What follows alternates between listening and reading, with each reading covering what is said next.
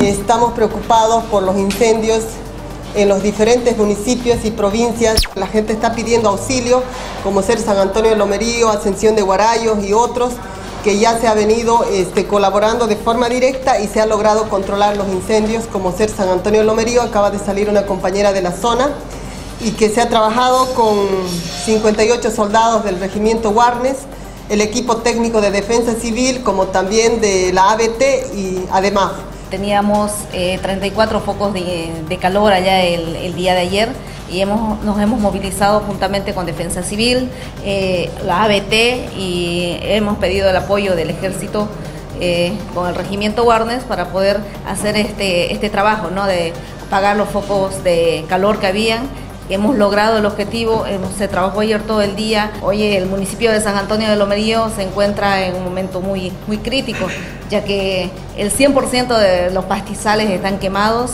el 70% de sus bosques están quemados. Nuestros sembradíos están siendo arrasados por el fuego.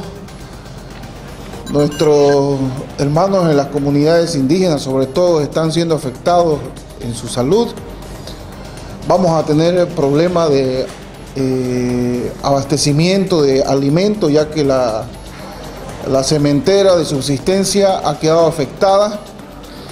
Estamos hablando del 62% del territorio del departamento de Santa Cruz.